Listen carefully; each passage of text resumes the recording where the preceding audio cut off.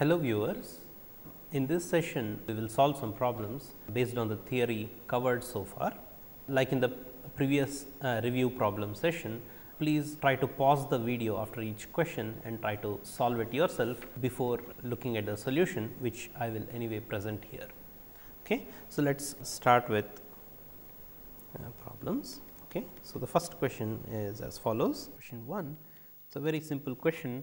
Uh, let us try to uh, look at uh, a contour integral. Okay. So, a very simple contour integral. So, evaluate integration over gamma e raised to z squared by z minus i power 4 dz, where uh, gamma is the circle okay, as the circle of radius uh, 4 centered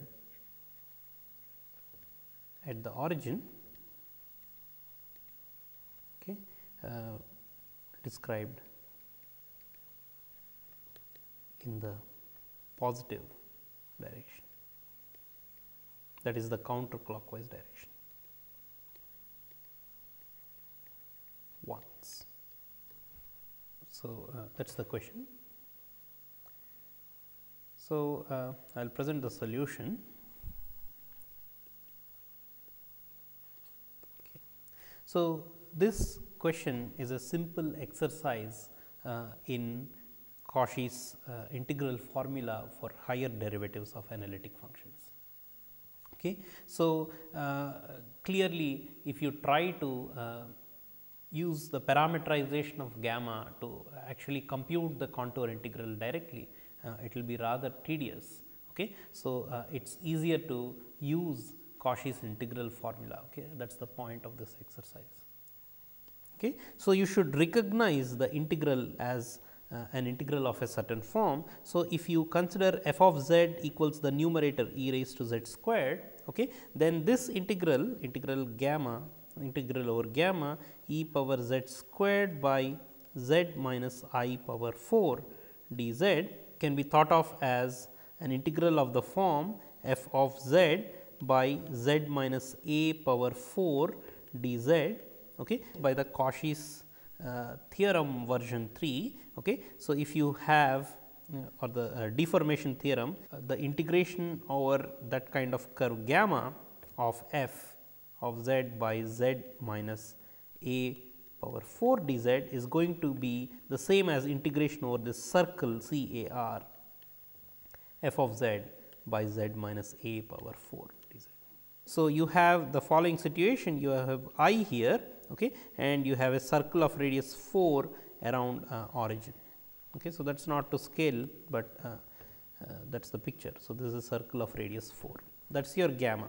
Okay. It is not a circle centered at i, but that does not matter by Cauchy's uh, theorem version 3. We know that integration over gamma of f of z by z minus i power 4 is dz is equal to the integration over uh, a circle of radius r.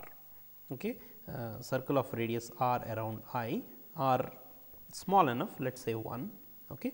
Uh, f of z by z minus i power 4 dz.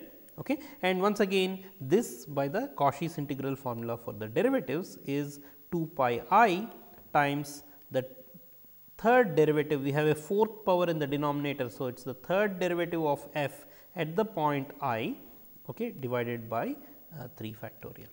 For higher derivatives we had the following formula integration c uh, a r okay, f of z uh, there are constants here there are constants 2 pi i. Okay, so, n factorial divided by 2 pi i times integral over C A R of f of z by z minus a power n plus 1 dz. Okay, so, that is the Cauchy's integral formula. So, here we apply with this with n equals 3 to get uh, this. Okay. So, if we compute the third derivative of our f at i and uh, substitute and substitute it here, we, we are going to get the value of this integral.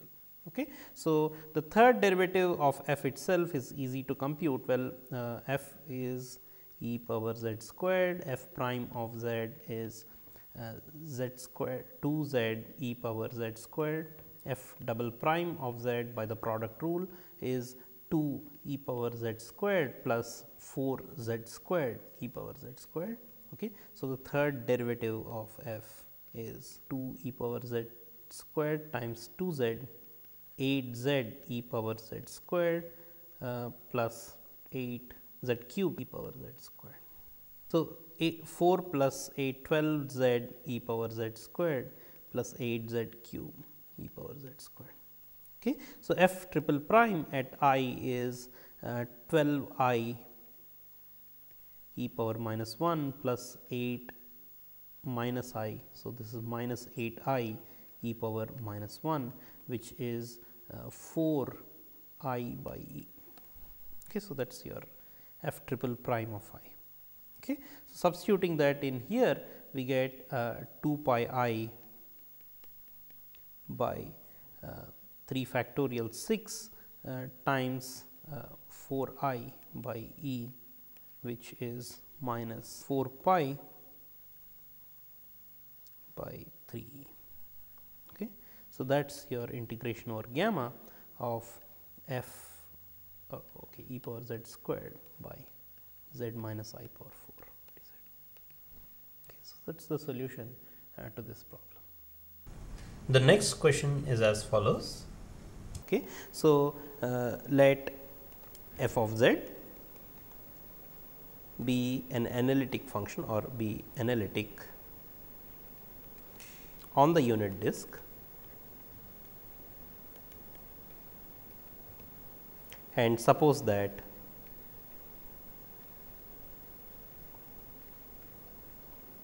the modulus of f of z is less than or equal to 1 by 1 minus modulus of z uh, for each z belongs to. Okay. So, under these circumstances try to show that uh, the modulus of the nth derivative of f at the point 0 is at most uh, n plus 1 factorial uh, times e. Okay. So, the key here is to use an appropriate contour in the unit disk okay, so that we can we can bound the nth uh, derivative. Okay. So, more precisely we will choose an appropriate uh, a circle of appropriate radius, so that the nth derivative at 0 can be bounded by the values of the function f uh, on that circle. Okay. So, please pause here and try to see if you can uh, come up with the solution and here I will present the solution. Okay. So, as I said uh, the idea is to choose an appropriate uh, uh, circle. Okay. So, if uh, gamma is uh, a circle okay, oriented in the positive sense. Okay. So, positively oriented okay. mod z is equal to 1 minus 1 by k. Okay. Let us decide what this k is a little later let us just to see. Okay. So, then uh, what we get is the modulus of f of z okay, on gamma on the circle gamma modulus of f of z we know is less than or equal to 1 by 1 minus 1 minus 1 by k which gives us k. Cauchy's integral formula for the nth derivative okay, uh, at 0 is given by well f n of 0 okay, is uh, n factorial by 2 pi i times integral over uh, gamma. This particular gamma will work because f is analytic inside and on this circle okay, uh, of f of z by z power n plus 1 uh, d z. Okay, that is the Cauchy's integral formula uh, for the derivative nth derivative of f at 0. So, the modulus of the nth derivative of f at 0 is less than or equal to n factorial divided by 2 pi uh, integration over gamma of the modulus of f of z divided by modulus of z power n plus 1 uh, mod d z. Okay. And on gamma we have bounded f of z uh, it is bounded by k, we will set this k shortly. Okay. So, this is less than or equal to n factorial divided by 2 pi times integration over uh, gamma of k divided by well mod z is 1 minus 1 by k. So, I have 1 minus 1 by k power n plus 1 mod d z. So, on gamma okay, uh, z is equal to r e power i theta where r is equal to 1 minus 1 by k. Okay. So, theta goes from 0 to 2 pi. Okay. So, if that is the parameterization then d z will uh, give us r i e power i theta d theta okay, or mod d z will be uh, r times um, mod d theta.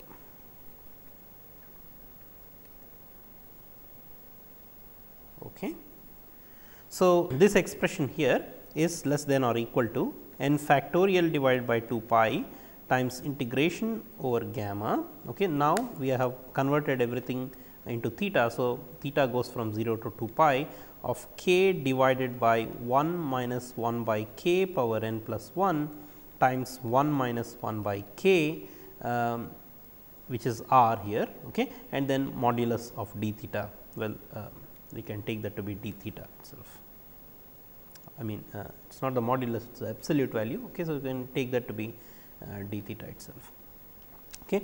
And then uh, this uh, we see is after after some cancellation uh, we see that this is less than or equal to or equal to uh, in fact n factorial divided by 2 pi integration from 0 to 2 pi k power n plus one factor here cancels with the denominator okay? Something like this. One factor here cancels with one factor here.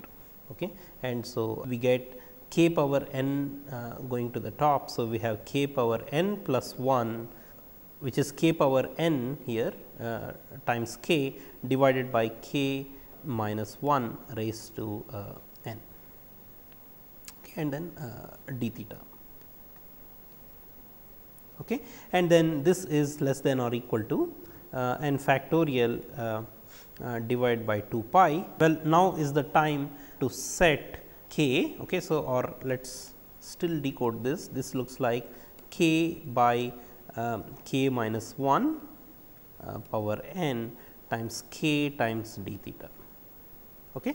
And since we want to show that uh, this is bounded by this nth derivative at 0 is bounded by uh, n plus 1 factorial times e Okay. So, in order to get that n, n plus 1 factorial probably uh, correct to take k equals n plus 1. Okay. So, that k and this n factorial give us uh, n plus 1 factorial. Okay. So, this is take k equals n plus 1 fact n plus 1 rather. Okay. So, this is less than or equal to n plus 1 factorial divided by 2 pi okay, uh, times integration from 0 to 2 pi of uh, n plus 1 by n power n okay, and then uh, d theta. Okay. This is of course, this is a constant which is uh, clear of uh, the integration. So, we can actually put it outside the integration okay, and this is less than or equal to n plus 1 factorial divided by 2 pi times uh, 1 plus 1 by n power n uh, and then 2 pi the integration from 0 to 2 pi of d theta gives us a 2 pi. So, we can cancel these and get uh, this is less than or equal to n plus 1 factorial times uh, this factor 1 plus 1 by n power n. Okay. And we know that uh, this uh, this uh, this is a sequence 1 plus 1 by n power n okay, is uh, an increasing uh, sequence okay, of, um, of real numbers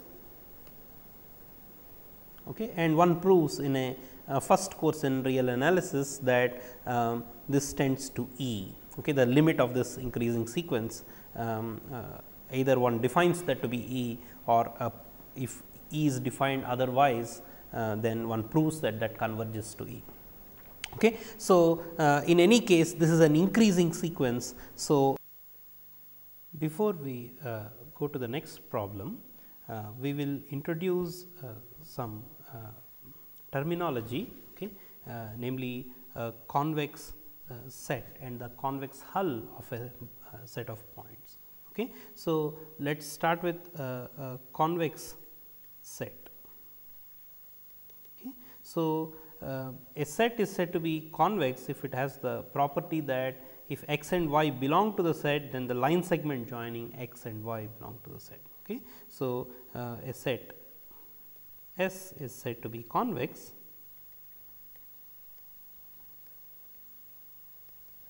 Okay. So, for simplicity uh, we will assume this is a subset of C. Okay. So, a set S contained in C is said to be convex if uh, whenever x comma y uh, belong to S, then the line segment joining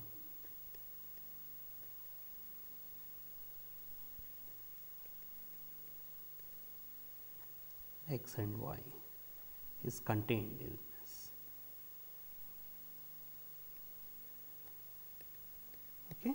So, another way to say this is well one can always parameterize uh, a line segment by T x plus uh, 1 minus t times uh, y. Okay. So, um, t between 0 and 1 will parameterize the line segment joining x and y.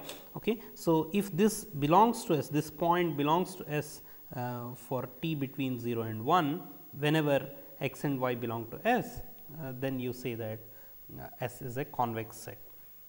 Okay. So, uh, for example, convex sets could look like uh, this. Okay. So, line segment itself is convex, because if you take any two points on the line segment x and y, the line segment joining them is contained within this line segment. So, it is a convex set. Okay. So, likewise, if you take a, a triangular piece like that okay, and then uh, the inside of this along with the boundary that is a convex set. Okay. So, you pick any two points x comma y uh, inside the set okay. they could be on the boundary for example, the line segment joining them uh, is contained in the set. Okay, so, this is a convex. In general, the inside of the polygon okay, along with the boundary of the polygon if you wish is a convex set. Okay, so, that is a convex set and then uh, there is the concept of a convex hull. So, in order to um, consider um, a convex set uh, which is uh, which contains a bunch of points, we can construct uh, a convex hull which has uh, an additional minimality property as well. Okay. So, here is a convex hull. The convex hull of a set K contained in C is uh, a convex set uh, S contained in C okay, containing K Okay. So, it contains k uh, not only that it is such that no proper subset S uh, contains uh, k. Okay, no proper convex subset I should say, uh, no proper convex subset of S uh, contains Okay. So, uh, such things are normally uh, constructed as follows. Notice that, so note the intersection of the intersection of two convex sets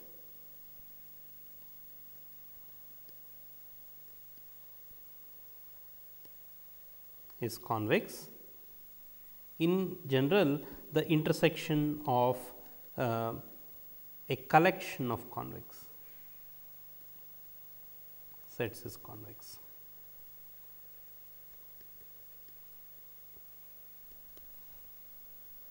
Okay. So, since this happens what you do is you consider the set of all convex sets which contain a given k and you take their intersection. Okay. So, let uh, G be a collection of all convex sets containing a given set k.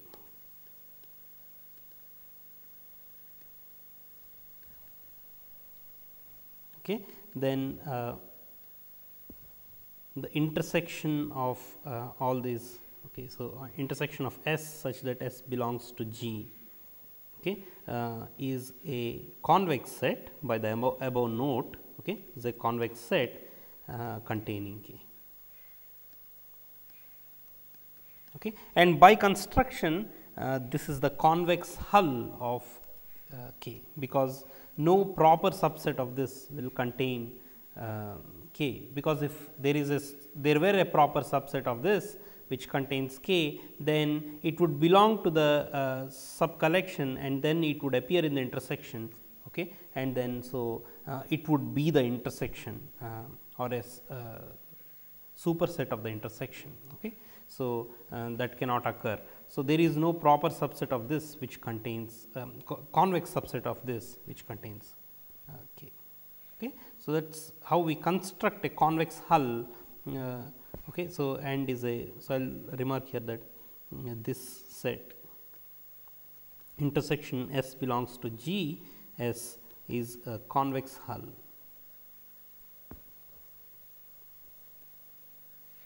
of K. Okay. So, that is how we construct uh, convex hulls. So, we will note one property of a convex hull, it is as follows or a uh, couple of them. Okay. So, uh, the convex hull of a finite number of points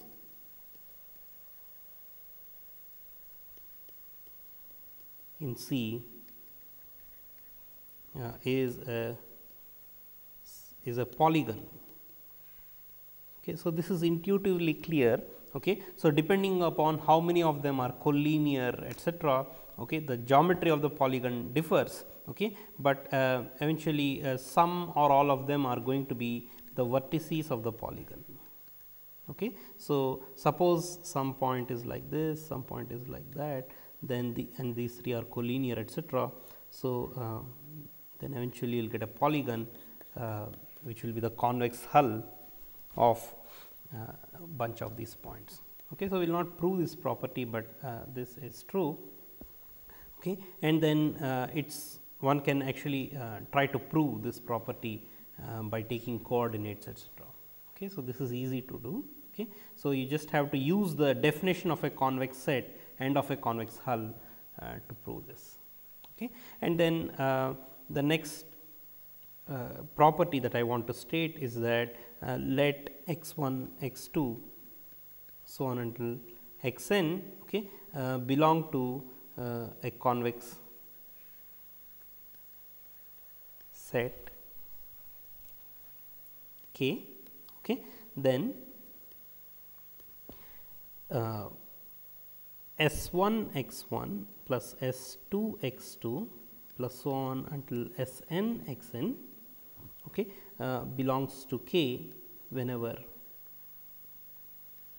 0 less than or equal to S i less than or equal to 1 and uh, the sum of S i's S 1 plus S 2 plus so on until S n is equal to 1. So, this is once again uh, easy to prove using the uh, uh definition of a convex set. Okay. So, one can uh, show that uh, all the, this point okay, for any values of S like this uh, is uh, belongs to a convex set K. Whenever these points start, when you start with these points in a convex set K. Okay. In particular, if you consider the convex hull of these bunch of points, it is a convex set okay. and so then this kind of uh, combination okay, uh, where uh, SIs are like this okay, uh, is also a point in that convex hull. Okay. So, with this we are ready to uh, now state the uh, next question. Okay. So, let z 1, z 2 so on until z n be uh, zeros be the zeros of a polynomial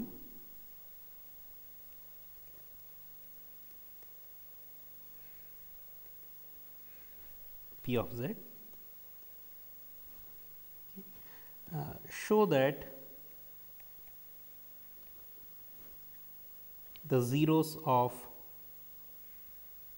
the derivative of p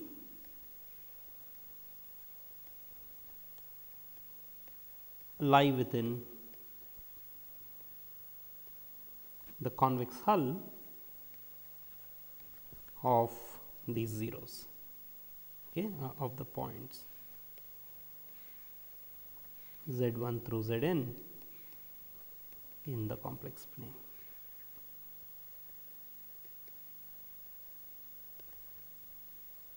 Okay.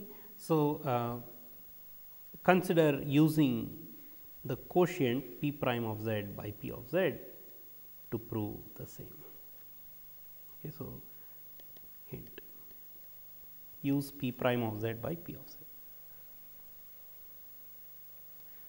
Okay, so, try to solve this problem uh, and I will provide the solution here. Uh, the statement uh, of this problem is called the Gauss-Lucas theorem. Okay. Uh, so, the, the solution is as follows, uh, let alpha be a 0 of p prime of z. Okay. If alpha is one of the uh, z i's, okay, then it sure lies in the convex hull because the points themselves lie in the convex hull of those points. Okay. So, if alpha is one of the z i's then alpha lies in the convex hull of z 1 through z n. Okay. Now, suppose that uh, alpha is not a 0. Okay. So, uh, if not, okay. so suppose now that uh, p of alpha is not equal to 0. Okay. So, alpha is not one of the z i's now. Okay. So, uh, in this case uh, let me first write um, p of z as some constant c times perhaps a constant c times z minus uh, z 1 times z minus z 2 so on until z minus z n because such a factorization is true for p of z because these are all the zeros of uh, p of z z 1 through z n are all the zeros. Okay. So, uh, perhaps there is a multiplying constant c there c belongs to c c not equal to 0. Okay. So, c belongs to c minus 0 okay. Uh, and uh, suppose p of z is like that okay. then p prime of z is easy to calculate p prime of z each time you take the derivative of one factor which is 1 okay, and use the product rule. So, I can actually directly divide by p of z to get uh, p prime of z by p of z uh, is equal to 1 by z minus z 1. So, the factor which is missing in p prime uh, figures in the uh, in the reciprocal like this okay. and then there are um, p prime is the sum of uh, all these uh, factors. So, it is plus 1 by um, z minus z 2 plus 1 by uh, etcetera so on until plus 1 by z minus z n. Okay. So, then uh, since p of alpha we are assuming uh, is not 0 now. Okay. So, then uh, p prime of alpha by p of alpha is equal to 1 by alpha minus z 1 plus 1 by alpha minus z 2 plus so on until 1 by alpha minus z n okay, which is equal to 0 because the numerator p prime of alpha is equal to 0 alpha is a 0 of p prime by assumption. Okay. So, uh, so this is equal to 0 okay, and then we will use this equation uh, to do the following. So, we will use this particular equation Okay. So, first multiply the numerator and denominator of each of these terms uh, with the conjugate of the denominator. Okay. So, we get alpha bar minus z 1 bar divided by uh, modulus of alpha minus z 1 squared plus alpha bar minus z 2 bar divided by modulus of alpha minus z 2 squared etcetera plus alpha bar minus z n bar divided by alpha minus z n modulus squared is equal to 0. Okay. So, uh, alpha bar times let me uh, uh, factor out an alpha bar I get uh, 1 by modulus of alpha minus z 1 squared plus 1 by alpha modulus of alpha minus z 2 squared plus on plus 1 by modulus of alpha minus z n squared okay. and this is equal to on the right hand side I will collect these terms z 1 bar divided by uh, modulus of alpha minus z 1 bar etcetera. So, on the right hand side I get uh, sigma okay, uh, i or k equals 1 through n okay, of z k bar divided by the modulus of alpha minus z 1 z k squared.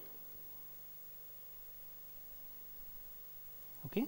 So, uh, now uh, notice that this is a real number let us call that a okay, and the coefficient of uh, z k bar is also a real number. Okay. And so, let us call that uh, a k.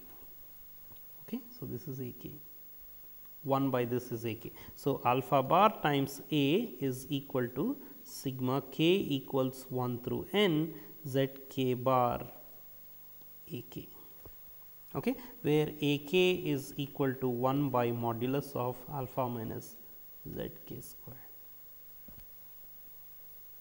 Okay. Also notice that the sum of uh, a k's is actually equal to a.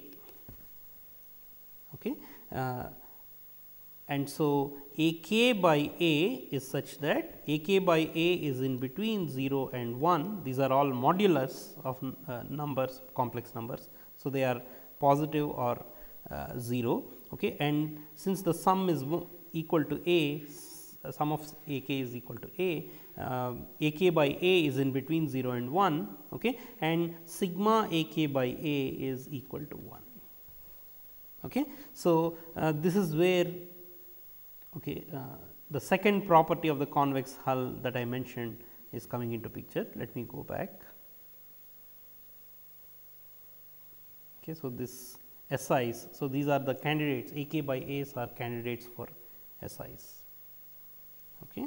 So, uh, alpha bar. So, I will conjugate on both sides of this equation a and a k are real numbers. Okay. So, the conjugation does not affect them. So, what I get is alpha is equal to uh, sigma k equals 1 through uh, n of z k times a k by a.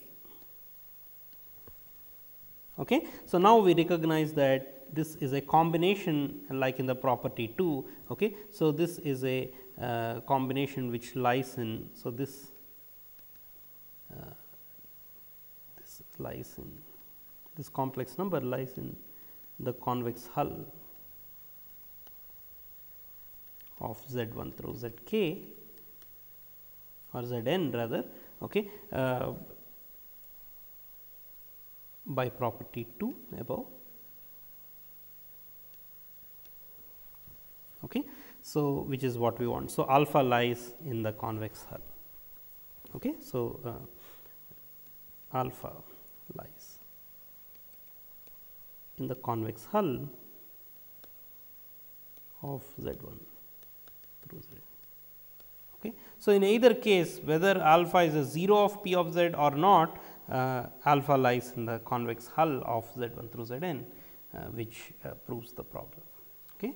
And this uh, like I mentioned this is called the uh, Gauss-Lucas theorem. So, the next question is as follows. Okay.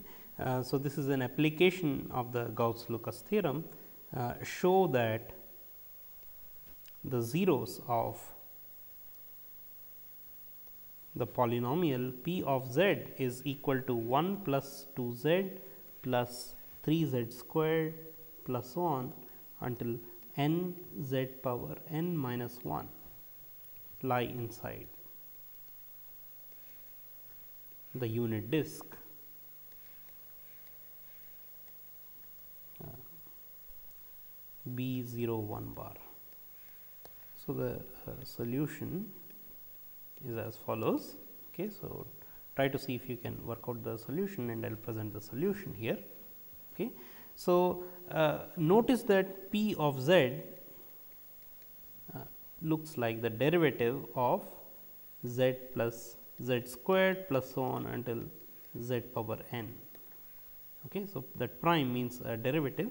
Okay. So, p of z can be thought of as the derivative of that polynomial okay. and then uh, we will use the uh, Gauss Lucas theorem okay, uh, which says that the, the zeros of p of z lie in the convex hull of the zeros of this polynomial. Okay. And so, let us concentrate on this polynomial within the parentheses. So, this uh, polynomial can be factorized as z times 1 plus z plus z squared so on until z power n minus 1 okay, which is z times we will recognize that as z power n minus 1 divided by z minus 1. Okay. And uh, we recognize that uh, the this z power n minus 1 uh, the roots of this polynomial z power n minus 1 are precisely the nth roots of uh, unity and when we divide by z minus 1 we forget the root 1 itself. Okay. So, uh, if zeta k is equal to e power uh, 2 pi i k by n okay, uh, 1 less than or equal to k less than or equal to n minus 1 okay, then uh, zeta k is a root of this polynomial uh, z plus z squared plus so on until z power n. Okay. And notice that 0 itself is a root of this polynomial. Okay. So, uh, 0 is also a root of z plus z squared plus so on until z power n. Okay. So, now the zeros uh, these are n minus 1 in number okay, and uh, 0 is including 0 we have n roots and an nth degree polynomial has at most n roots. So, we know all the n roots these are all distinct that is the point. Okay. So, so we now know all the roots of this. Okay. So, the zeros of uh, the given polynomial okay, of uh, p of z lie in the convex hull of uh, the set zeta uh, k okay, uh, which is e power 2 pi i k like I have mentioned here. Okay. So, this is zeta k uh, such that 1 less than or equal to k less than or equal to n minus 1 union 0. Okay. But now, what is the convex hull of these? Well, the roots of unity lie on the unit circle. Okay. So, they divide the unit circle into uh, equal number of circular pieces. Okay. So, um, these zeta k uh, lie okay, they look like e power i theta for some theta and lie on the unit circle okay, and 0 is in the center. Okay. So, the convex hull of uh, the roots of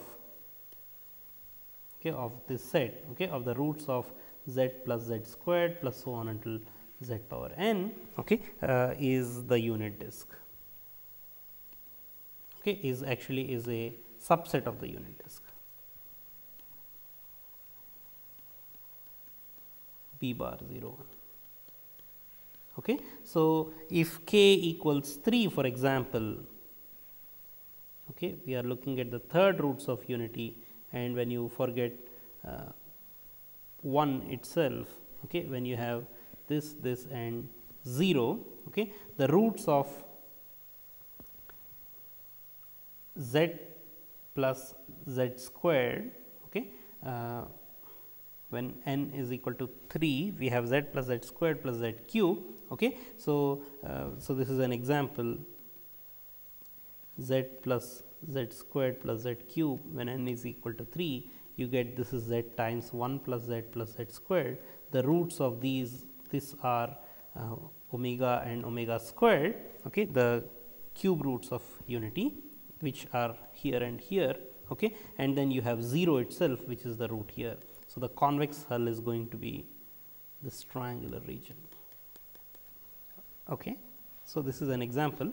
Okay. Uh, so, likewise you are going to get a subset of B uh, bar 0 B 0 1 bar the closure of B 0 1 okay, and uh, that is the convex hull. Okay. Uh, so, the zeros of P of z okay, um, definitely lie okay, in B 0 1 closure. Okay, so, that is a solution uh, to this problem.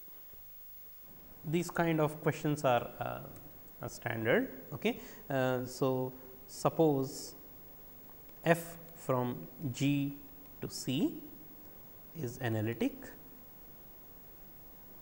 Okay. So, I should start with let G be a region. So, G is a region and suppose f from G to C is analytic uh, and suppose that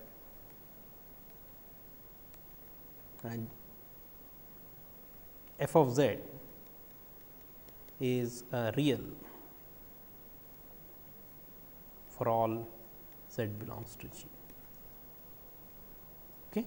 Then show that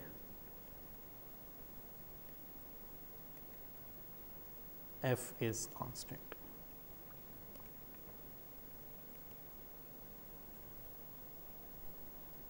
Okay. So, a real value uh, analytic function has to be a constant function. Okay. So, uh, there are other uh, versions or other uh, kinds of problems which look like this. Okay. So, um, one can ask uh, that show that if modulus of f of z is constant then f is constant okay or um, one can ask that if f of z is purely imaginary always then uh, show that f is constant okay and one can more generally ask that if the values of f of z lie on a line passing through origin for example or on a straight line then show that f is constant etcetera okay so all these uh, will um, will follow from a theorem which uh, we will do in the uh, next few over the next few sessions called the open mapping theorem, which says that uh, an analytic function should take open sets to open sets. Okay. So, or a non constant analytic function should take open sets to open sets. Okay. So, if f were to be non constant, it will take um, G which is a region which is an open set to an open set. Okay. So, what that means is that well, uh, so it cannot take in particular it cannot take C to the real axis which is not open in the complex plane okay, or a part of real axis any part of real axis which is not an open set in the complex plane. Likewise, it cannot take the complex plane to particular uh, circle for that matter okay, where uh, the modulus is fixed. Now, we can use uh, Cauchy-Riemann equations directly uh, to show that um, f is a constant. Okay. So, for now since we do not have the open mapping theorem uh, at hand, we can use the Cauchy-Riemann equations uh, to show this problem. Okay. So, uh, here is the solution. Okay. So, let z naught belong to G okay, and uh, let Okay, so, f of z is equal to or f of z naught uh, is a real number okay, that is given f of z naught f of z is real. Let uh, S equals the set of all z belongs to G such that uh, f of z is equal to f of z naught. Okay, we will show that S is the whole set G. Okay. So, firstly uh, let us look at f of z which is which looks like let me separate it into its real and imaginary parts which looks like u of x y plus i times v of x y and u and v satisfy the Cauchy-Riemann equations. Okay. It is given that f of z is always real which means v of x y is identically the 0 function. Okay. So, uh, on G. So, u of, this is u of x y plus uh, i times 0. By the Cauchy-Riemann equations we have what do we have? We have v of x y is 0 implies u x the partial of u with respect to x is 0 and the partial of u with respect to y which is minus the partial of v with respect to x that is also uh, 0. Okay. This is 0 because uh, u x is equal to v y okay, and v y is 0. So, both these are 0 and since G is a region um, there is a rectangular path connecting um, there is a uh, R path connecting Z naught and Z. So, using that rectangular path you can uh, try to recover u of x y okay, uh, by integrating along um, okay, uh, by integrating along the um, line segments parallel to uh, x axis. Okay. So, on x axis okay, line segments parallel to x axis. So, I will just not say that I will just say on z naught z this is to indicate the rectangular path connecting uh, z naught and z okay. and then you can integrate uh, with respect to y partially. Okay. So, uh, dx and then on the line segments connecting uh, z naught and z uh, okay, uh, on the rectangular path connecting z naught and z on the uh, on the line segments which are parallel to y axis okay, y axis rather okay, you can integrate with respect to u y with respect to y okay? And but these both both of these are zeros okay? So which means um, uh, both of these are given to be 0 okay? And u x anyway is 0 on um, on vertical line segments okay? And then u y is likewise 0 on uh, horizontal line segments. It's actually identically 0 in the whole region okay? So this uh, gives you uh, the constant of integration. That's all. Okay? So two constants of integration okay so uh, so u of x y is constant okay so likewise um, so, so well that, that already shows that f of x y is a constant, a real constant. So, uh, that is a solution to this problem. Okay. All right. So, uh, the next uh, problem is as follows. So, let u from C to R be uh, bounded. Harmonic function.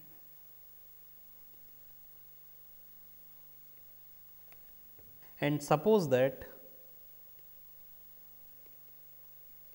uh, u is a real part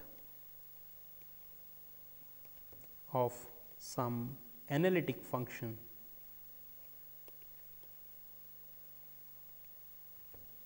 F. Okay, on all of C. Okay. Then show that u is bounded, u is constant rather. So, what that means is show that u is a constant function. Okay. So, uh, use the real part of f uh, for every complex number uh, z. Okay. So, try to solve this problem and I will present the solution here. Okay. So, let me first remark that um, it can be shown that this supposition is unnecessary. What I mean by that is this is uh, additional, but since uh, we did not uh, show that in the theory, uh, we will assume this in addition to uh, u being a bounded harmonic function. Okay. So, since u is the real part of f, Okay. For every z belongs to C, what you can do is you can consider uh, e raised to f. Okay. E raised to f is analytic or in fact, it is entire because f is entire okay, since f is entire. This f here in the problem is entire. Okay. So, the modulus of e raised to f is going to be e raised to the real part of f at every point z and that is e raised to u. Okay. So, since it is given that uh, u is uh, bounded, okay, so this is less than or equal to e raised to m, okay, where u okay, uh, is bounded. So, the modulus of u or the absolute value of u is less than or equal to m. Okay. It is a bounded function. So, there is such an m. Okay. So, uh, e e raised to f is a bounded entire function. So, by Liouville's theorem, we know that uh, e power f is a constant function.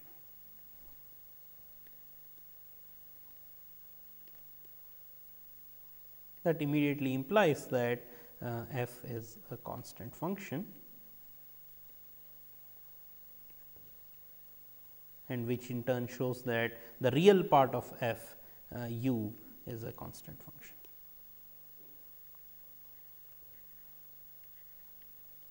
Okay. So, that is also an easy exercise. Okay. So, um, here are uh, a few more problems. Okay. So, here is the question um, find all z for which cosine z is real. Okay. So, the solution well you just have to look at the expression for cosine z this is e power i z plus e power minus i z by uh, 2 okay, and then this is real number. Okay. So, we have to use the fact that uh, real number is equal to its conjugate. Okay. So, we will use that fact. Let us first see what this is e power i z plus e power minus i z by 2.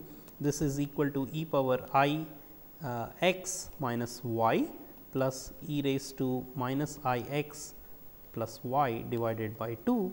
This is equal to well this is cosine x plus i sin x divided by e power y plus uh, cosine x minus i sin x times e power y divided by 2. Okay. So, this number should be equal to its conjugate okay, for the above condition. So, um, so this number cosine x plus i sin x divided by e power y uh, plus cosine x minus i sin x times e power y divided by 2 is equal to its conjugate. The conjugate of this is going to be cosine x minus i sin x divided by e power y uh, plus cosine x uh, plus i sin x times e power y divided by 2. Okay. So, um, upon simplification well these cosine x's cancel uh, these cosine x's cancel okay, and then uh, you are left with uh, 2's cancel of course. Okay. So, you are left with 2 i sin x divided by e power y is equal to 2 i sin x e power y. Okay. So, you end up with the equation sin x uh, times 1 minus e power 2 y is equal to 0. Okay. So, um, well either sin x can be 0. So, uh, this is 0, this product is 0 if sin x is 0 or uh, if e power 2 y is equal to 1. Okay. Sin x is equal to 0 has the solution x equals n pi where uh, n is any integer okay. and then um, uh, e power 2 y is 1 implies uh, 2 y has to be 0 which implies y is 0 which is the real axis. We know that cosine is real on the real axis okay. and whenever x is n pi uh, uh even then uh, your co cosine z is real. Okay. So, these two uh, give you uh, the set of all points where cosine z is real. Okay, and um, we will end this problem session with this problem.